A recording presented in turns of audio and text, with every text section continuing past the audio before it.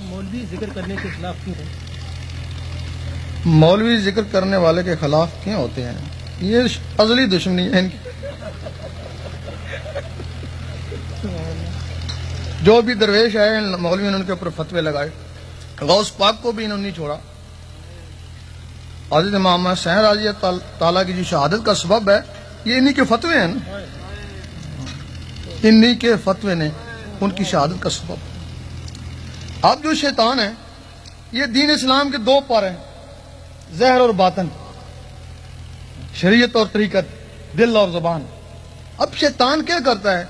वो शरीयत वालों को रोकता है कि तूने नमाज़ पढ़ ली, ये भी तो ज़िक्र है ना।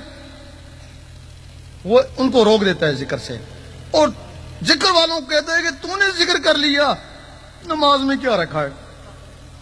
इनको नमाज़ से रोकता है, उनको ज़िक्र से रोकता है। वो यही फटफड़ा रहे हैं ना, एक पर से ज़्यादा से ज़्यादा मस्जिदों के चक्कर लगा रहे हैं ना, और वो जिन्होंने नमाजें छोड़ दी, वो जंगलों के चक्कर लगा रहे हैं ना। रब को तो उन्होंने पाया, जिन्होंने नमाजें भी पढ़ी और ज़िक्र भी किया, जिन्होंने जुबानों को भी पाक किया और दिलों को भी साथ किया।